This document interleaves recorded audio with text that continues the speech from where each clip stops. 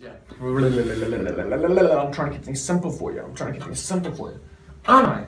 Oh, yes. Okay, I'm about to destroy this answer. I'm about to destroy this answer. You ready? You better be ready.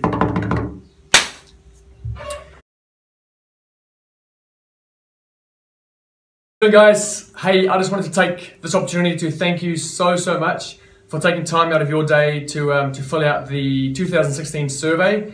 We had a great response to this. Um, we had some awesome feedback and some really encouraging comments. And you guys were also very honest, which is really helpful. We really appreciate your honest feedback. Um, it's going to help us to improve this place for everyone. So thank you, thank you, thank you so much. Um, I want to take the opportunity while I'm making this video to just give everybody a good understanding of uh, where our focus is, um, what our plan is, and kind of, um, yeah, as a business and as a, as a staff, what our priorities are, so that when I go through these, um, these, these results for the survey, it gives you a better understanding of, um, of what we're trying to achieve. So, uh, so firstly, guys, Andfit has always been about CrossFit. Um, our main product is CrossFit, and so it's absolutely our priority to make sure that our, um, our CrossFit classes are run really well, um, they're available regularly, and so CrossFit is always going to be our, our core business. And so it's good to, good to know that just so when we go through some of the um, yeah some of these answers on this survey, um, just keep in mind that our main business is CrossFit. Um, the second thing I wanted to just again tell you is that um, as far as the people that we focus on, we're very passionate about the general population. We want to make CrossFit available to everyone. So we just love seeing uh, mums and dads come in, teachers, students, lawyers, doctors, doctors nurses, um, just people of all walks of life. And, um, you know, seeing CrossFit help you guys in, in what you do during life. So although we are passionate about CrossFit as a sport as well, we enjoy the CrossFit Games Open, we enjoy the uh, local uh, competitions, you know, and we want to uh, make provision for those who are passionate about um, CrossFit as a sport and those who view themselves as athletes. Um, by saying that our main focus is our general population, and so again, when we make our, when we make our decisions, um, we always consider that first. That um, we're about those people, and um, and we're about CrossFit. So uh, so I hope that will help you just understand a bit of our thinking when we um, when we talk through some of uh, the changes we'll make and, and some of the decisions we make. So the first question on the survey was, what is the one thing that you love about Andfit? And the overwhelming response here was the people um, is also, are awesome, the community and family feel of the place is awesome, and time and time again, just people, you know, you guys were saying family, people, community, and that's really, really encouraging because obviously our slogan is people first, fitness follows, and it's all good having a slogan, um, but if that's not the experience of our members, then we're missing the point. So um, it's very encouraging for us to hear that that is what you guys are experiencing and that you do feel like this is your, uh, your second home. So thanks for that feedback. The second question was, if you could change one thing about Andfit, what would that be? And uh, the two things that stood out here are two things that we're very well aware of and two things that have probably frustrated us quite a bit over the last four years. Um, and that is the parking situation around Andfit and also the bathroom and shower um, situation. So I thought I'll take again this opportunity to give you a bit of uh, insight into the future and what's happening with Andfit. We lease the warehouse off Life, um, which is the church next door. Now, Auckland Transport, um, they are building a underground rail link, um, which goes directly under our building, which means that our building is getting demolished, which is not a bad thing, it's a good thing. We are going to be uh, relocating in 2018 with Life to uh, Normanby Road, just around the corner. And uh, Life is going to be building a brand new facility with multi-story car parking. And this could be a great opportunity for Andfit to really get a purpose-built space um, with brand new bathrooms and showers, um, good parking, and so it's all going to be taken care of in 2018. Um, but as I'm sure you can understand, it doesn't make a lot of sense for us to be spending too much money right now um, building extra showers, extra changing rooms, um, or perhaps leasing parking around the area um, since we are moving um, in just a, a, short year or two away. So I hope you guys can uh, understand that and um, we will continue to try and improve things. We'll look at the plumbing especially and just the water supply to the bathrooms to make sure the showers are always uh, working well and that um, that flushing the toilet or opening the tap doesn't uh, stop the shower. So um, on top of those two things, there were a few other um, things that were pointed out. Uh, obviously, we've just got a brand new pull-up rig, um, and the, the pull-up bars were fairly high to start, start off with. We had Industrial Athletic come in last week to lower every second bar um, again, and so it should be much lower and more uh, more easily to jump to for my shorties out there. So that's been taken care of. Um, the cleaning um, question, how we score in cleaning, we want to ask this question every survey because we want to be held accountable uh, every six months for how clean the place is. You guys deserve a clean space. You deserve a space that is, uh, you know, not cluttered, um, not dirty, but a place that is well organized and clean. And so we want to make sure we provide that for you guys. Um, and we're, we're very pleased at what you guys scored us. Um, on average, we scored an 8.5 on clean. Um, so we thank you for that. Um, we're going to continue to improve the cleaning to make sure it's more regular. You will notice that on the floor now there is uh, some spray bottles hanging up on the um, on the red shelves, spray bottles and cloths.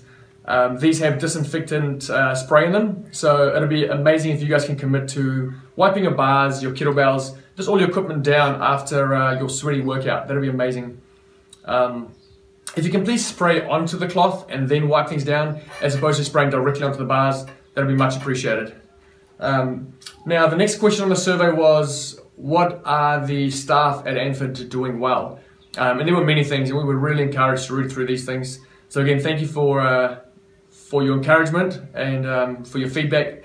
It, uh, it's really it lifts us up to know that we're doing so much right. So um, so thank you for that. Um, now, very important. Uh, the last question is very important and dear to my heart, and that is, uh, what can the staff at Andfit do better? And this is important because what we provide is coaching. That's our service. That's our product. Is our coaching. And we want to make sure that this is consistent across all the staff. We want to make sure that it is to a really high quality. And, uh, and your feedback was uh, very honest and it's going to help us a lot. Um, so some of the things that came through in the survey was you want consistency. So you want to come into a class and regardless of who's coaching, you're getting the same uh, service. Um, you you all obviously value technique very highly, and you want um, you want coaching on technique every session, not just in the strength component or the gymnastics component, but also during the WOD. And so, um, so we had a staff meeting just uh, two nights ago. Uh, we caught up with the staff, ran through all the survey results, and we've come up with a plan to um, to make sure that we're all coaching uh, the same way. So we've set a system in place um, that coach and I can follow to make sure the, the the session runs the same regardless of who's coaching. Um, I'm also going to be uh, running a six month coach development program with all the coaches. They're going to go through this over six months where I'm going to upskill them and, um, and spend a lot more time with them. We've been very uh, lucky and blessed to have incredible, capable, educated people. Um, but even then, we can always learn and develop more. So I want to spend a lot more time with our coaching staff to make sure that they continue to upskill and improve themselves um, so that you get value uh, one of the things that stood out to us in the survey was that um, there's a few of you that would like more um, focused coaching around gymnastics movements, um, around the Olympic lifts, uh, perhaps around mobility. Um, and the reason I before explained that we are about CrossFit is because there's a lot of different kind of offshoots from CrossFit, all these kind of specialty areas that people get passionate about, um, which is great because they are they're all so such awesome avenues to kind of pursue. Um, but the reality is, uh, CrossFit class needs to be um, something that you know we get a bit of everything. So we kind of specialize and not specializing. We give you a bit of a taste of everything. Uh, we make sure you're competent and, uh, and a, a, range of different skills. By saying that, we want to create opportunity for those who are passionate about or need to improve their gymnastics skill more. We want to provide something that's going to allow you to do that. And that goes for Olympic lifting, powerlifting, mobility, and all these other areas. We want to create something that's going to allow you to improve um, but it's not going to take away from our, our CrossFit class, which needs to be around the class and not a, specific, uh, a specialty class, if that makes sense. So what we've come up with is that over the next year, we're going to be running a bunch of block courses. These will range anywhere between four and eight weeks, and they'll be on a specific topic. So for example, in uh, March, we have a powerlifting block course coming up. So you'll be able to enroll into this block course and we'll run for that period. Um, and what we'll do is if we don't feel like we have the skill to um, to really teach that certain uh, modality really well, we'll get some experts in to come and run that block course for you. And so um, I think these block courses are going to be awesome. It's going to really allow you to, to choose the areas that you need to work on or choose the areas that you are passionate about and enroll in those block courses. So this will mean that we can keep our CrossFit schedule full of CrossFit classes and not take away um, you know, CrossFit classes for specialty courses that not everyone might be passionate about. Um, so look out for those. We'll announce uh, we'll announce well in advance what block courses are coming up, uh, when they are, how much it costs, all those kind of things. So um, so it's going to be a great change. The other change that we've made on this topic recently is the warm up. We have recognized that within the warm up, there's a real opportunity to develop skill. We've got 10 15 minutes there to, um, to get the body warm, uh, but why not take the opportunity to actually work on some skills? And so you'll see from now on that the warm up actually has a gymnastics skill in it. And that's gonna, um, that's gonna be there for you to get some, you know, over a week to really repeat um, that one skill and get more proficient at it. So if you see uh, within the warm up that there's a pistol in there or there's a Turkish get up, that's there so that we can really get exposure, a lot of exposure over a week or two in that movement during the warm up and, uh, and see you all improve in that movement. So that's going to be a good change to see you guys uh, improve your skill work when it comes to gymnastics. There was some feedback around the programming at Andfit. Um, some of you felt that the workouts were not long enough or not intense enough. Um, and I'd love to have a chat about the programming. Um, I'm really passionate about it. And the reason CrossFit gives results, and the very reason I was attracted to CrossFit, was because of the intensity. Um, you cannot, you can't, you can't substitute intensity for anything else. Intensity is the number one thing that gives results. And so it's really important for us that our workouts allow our members and our athletes to, uh, to maintain good intensity throughout. And I'll explain this a bit more. If you work at a low intensity, um, so a low heart rate, but for a long time, as soon as you finish working out, your heart rate returns to normal pretty much straight away. And the benefit only comes during the workout. There's not much benefit prior, oh sorry, uh, past your workout.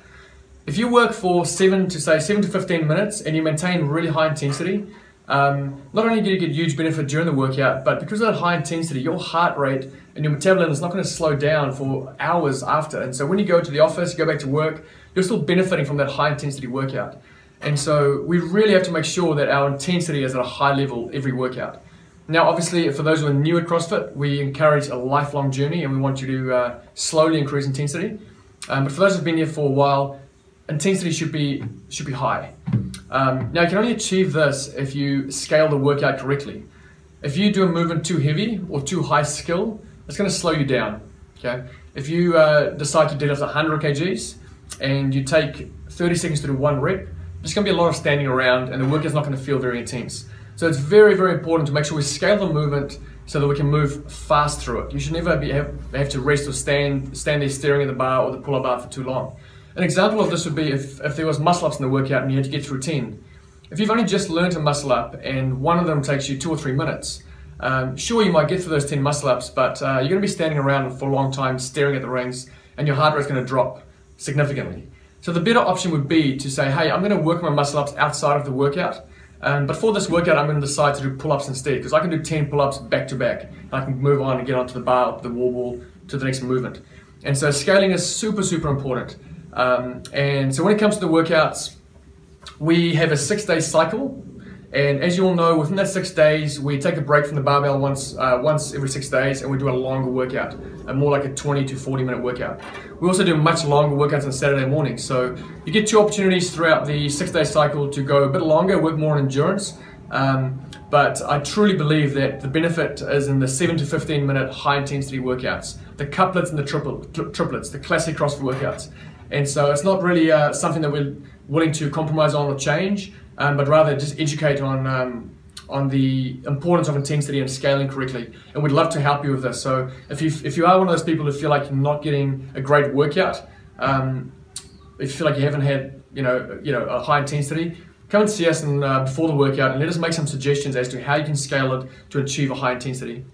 Uh, the other option, obviously, is we have OXO. OXO is a uh, much more of a cardiovascular focused, uh, longer workout. And so, if you haven't tried OXO, I'd really encourage you to get along jump into Lee Hain or, or Jacob's classes and try the OXO class. It's a uh, definitely a lung burner and you'll get a decent sweat up. So it's um, a bit of a different focus. And um, if you weren't aware, we do uh, provide additional programming for free. So we have a competition club page on Facebook where I give programming a month in advance. It's additional work that you can add on to um, your class programming every day.